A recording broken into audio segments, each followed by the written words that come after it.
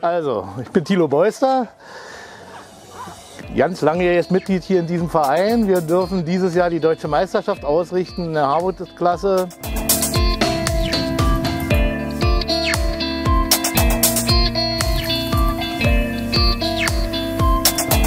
Ich bin Finn Kenter, ich komme vom Starnberger See und wir segeln seit 2017 Harboot.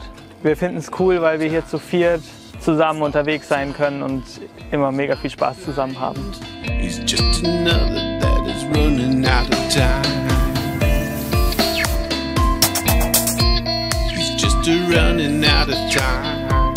Mein Name ist Friedel Gerke. Am Haarboot begeistert mich, dass es ein optimaler Kompromiss zwischen Familienfahrtenschiff und ambitioniertem Regattaschiff ist. Stop sign. The truck keeps coming and she's running out of time.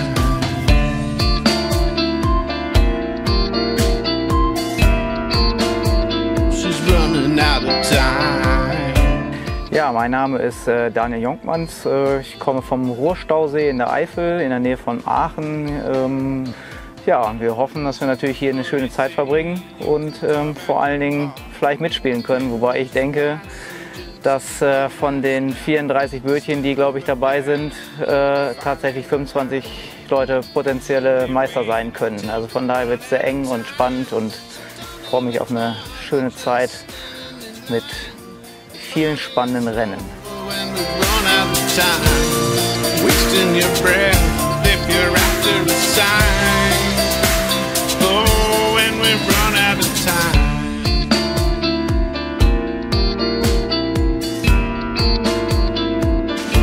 All run out of time.